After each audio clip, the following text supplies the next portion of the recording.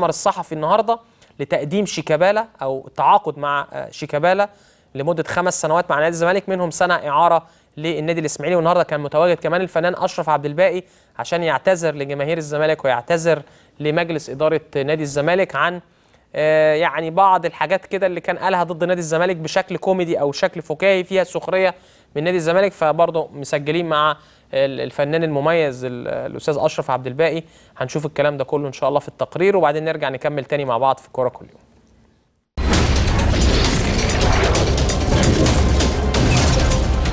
في إطار التوأمة بين ناديين عريقين نادي الزمالك ونادي الإسماعيلي. تاريخ طويل من العلاقات المحترمة بين الناديين. معظم الإسماعيلية ينتمون في التشجيع لنادي الزمالك. ونادي الزمالك النادي اللي بيشجعه جماهير الزمالك بعد الزمالك هو الإسماعيلي. يمكن عشان الكورة الجميلة يمكن علشان آه، كان في بينهم 67 أيام حرب 67 لما حصل التهجير كان نادي الإسماعيلي هو ضيف على نادي الزمالك وعلى ملعب نادي الزمالك. عمر ما نادي الزمالك خطف لعيب من النادي الإسماعيلي. عمر ما نادي الزمالك ما عمل قرصنة على النادي الإسماعيلي. كان عندنا مشكلة ولد من أولادنا اللي هو محمود شيكابالا. شيكابالا كان عنده انفلات شيكابالا كان بيبدد موهبته شيكابالا ما كانش ملتزم. زي بالظبط كده أي ابن تلاقيه منفلت العيب مش في الابن العيب في الأب المسؤول اللي قاعد يدلع ويشخلع وما يعاقبش لغاية ما ابنه كده بقى كده. شيكابالا استوعب الدرس لأنه كان حكم عليه بالإعدام الرياضي خلاص. فكانت البداية. أمير مرتضى واحمد مرتضى بيعرفوا شيكابالا جابوهولي قالوا لي بقى شخص تاني مختلف. أنا عندي خبرة شوية يعني في الحياة. لقيته فعلا أصبح مختلف. أكثر انضباطا عرف إنه غلط. بداية إنك تصلح اعترف بغلطك وقال أنا غلطت. وعايز فرصة. زارني آه، أستاذ جمال أستاذ جمال العدل والدكتور مدحت العدل والاستاذ عمرو الجنايني وكان لهم دور كبير في رجوع شيكابالا مش للرياضة رجوع شيكابالا لنفسه يعني. وأنتوا عارفين طبعا لما جه زاروا حصلت مشكلة مع السيد عميد أحمد سليمان واستقال بعديها وتبنيت عودة شيكابالا. كابن من أبناء النادي. ده العقد اللي بيننا وبين نادي سبورتنج لشبونه اللي لسه امبارح متوقع منه. قعدنا فترة كبيرة في مداولات عايزين مليون 100 مليون جنيه لا 50 مليون يعني حاجات طبعا ارقام لغاية ما وصلنا إلى 650 ألف دولار. بيتحول فورا 250 ألف دولار وفي يناير 200 ألف وفي آه، آه، آه، يونيو 2016 إن شاء الله بإذن الله 200 ألف دولار. ان من ضمن بنود العقد إسقاط جميع العقوبات اللي كانت موقعة لشيكابالا في البرتغال. جميع العقوبات شرط اساسي اشترطنا كل عقوبة تم توقيعها على هذا اللاعب في البرتغال تم إسقاطها. طبعا أنا كل حاجة بنعملها أنا وسيادة المستشار أنا بتصل بيه اولا ما دام بتخص حاجة بتخص حاجة مشتركة بين نادي الزمالك والنادي الإسماعيلي. أول حاجة كلمته قلت له يا سياده المستشار كنت عارف إن الكابتن ميدو جاي كمدير فني للفريق. فاتصلت بيه قلت له أنا عارف إن الكابتن ميدو في دايرة تهتمك هل تسمح لي إن أتكلم معاه؟ قبل ما أتكلم مع الكابتن ميدو كلمة واحدة إن أنا أتكلم معاه قال لي رغم إن أنا كنت حاطه رقم واحد إن هو اللي هيكون مدير فني لنادي الزمالك بعد كده إنما إحنا والنادي الإسماعيلي واحد. فاتفضل كلمة مفيش مشاكل. وكانت أول وبعد منها بخمس دقايق أنا كلمت الكابتن ميدو. و... و... وأعتقد إنه من أصوب القرارات اللي, اللي خدها مجلس إدارة النادي الإسماعيلي إن إحنا جبنا العالمي عندنا. عمل حراك جوه النادي وبيعمل فرقة جميلة جدا وعينه ما شاء الله. ودي الهدية الثالثه اللي إحنا خدناها من المستشار المحترم. الموضوع الرابع لما كلمني الكابتن ميدو عن شيكابالا أنا أنا أعلم قيمة شيكابالا قد إيه. شيكابالا طبعا من أحرف اللعيبة وأحسن اللعيبة اللي جم على أرض الملاعب المصرية. أنا عارف أنا فاهم هو يعني الحاجات اللي بيعملها مش في الكورة يعني يعني ما بيجيش تدريب ده حريف تمام فبرضه قلت له طيب هل أنت كلمت السيد المستشار مرتضى؟ قال لي أنا كلمته قلت له أنا برضه هكلمه فكلمت السيد المستشار مرتضى قال لي ما عنديش مانع خالص وبدأنا السكة وإن شاء الله آه، سيادة المستشار وأنا نعيد شيكابالا للملاعب أنا مطمن جدا وعارف كويس بإحساس رئيس النادي واحساس ال- ده لعيب كورة ولاعيب كورة زي ما قال لعيب كورة زي ما قال سيادة المستشار مرتضى عبارة عن لؤلؤة ومجرد ما تشيل تراب عليها الكورة في الدماغ. عودة شيكابالا مرة ثانية لنادي الزمالك.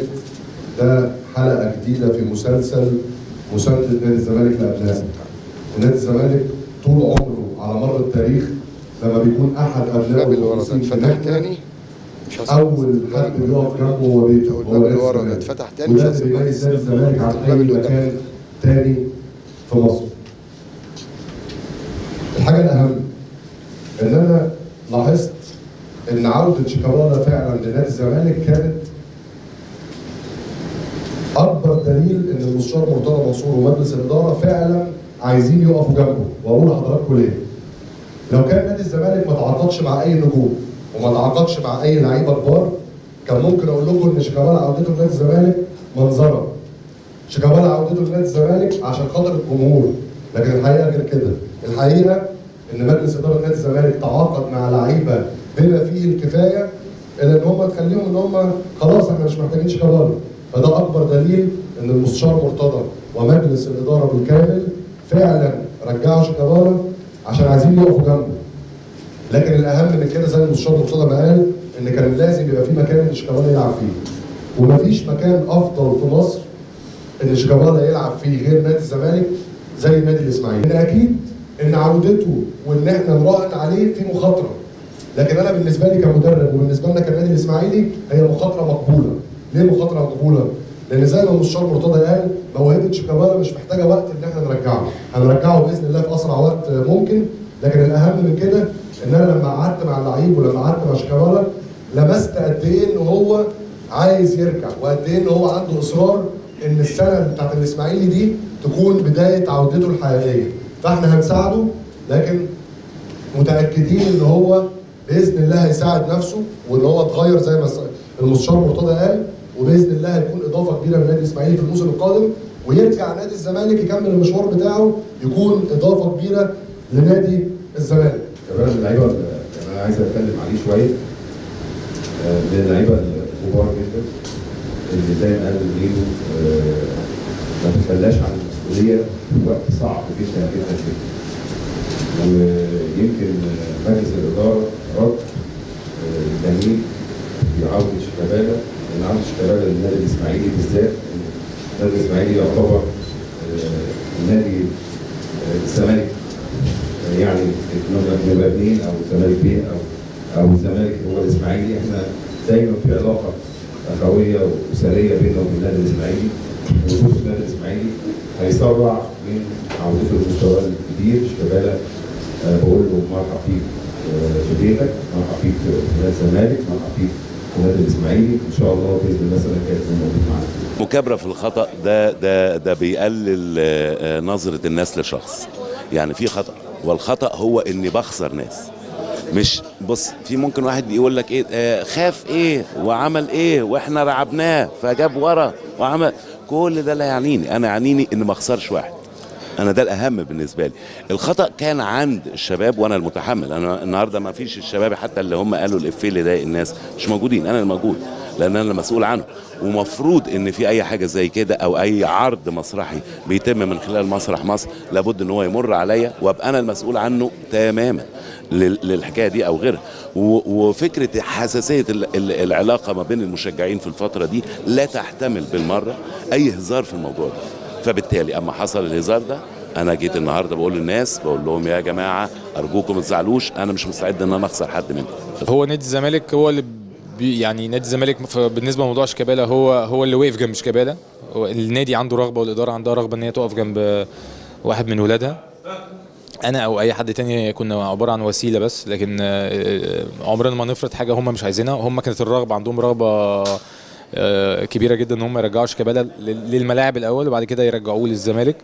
فطبعا لو في شكر يبقى للاستاذ مرتضى إن هو يعني زي ما ميدو قال في مؤتمر صحفي ما كانش مضطر إن هو يجيب شيكابالا لأن هو جاب الصفقات كلها اللي الفرقة محتاجاها. يعني ما كانش هيبقى عليه ضغط جماهيري هات شيكابالا هو جاب الصفقات كلها اللي الفرقة محتاجاها. بعد كده وقف مع مع شيكابالا ابن الزمالك. وبالنسبة لموضوع أستاذ أشرف عباي آه، برضو نادي الزمالك هو اللي كبير. يعني هو أستاذ أشرف ما جاش نادي الزمالك يعتذر عشان أمير أو عشان أستاذ مرتضى أو عشان أشخاص. لا هو ما فيش حد عاقل هيبقى عايز يعادي جمهور الزمالك. نادي الزمالك كيان كبير. آه، هو من نفسه آه، لما لقى إن في مشكلة حصلت هو ما كانش سبب فيها. ما كانش هو اللي قال ال- ال- الهزار أو السخرية دي. كان حد تاني آه، مش ناضج شوية ما عندوش خبرة شوية لسه بادئ حياته شوية. مفيش مشكلة.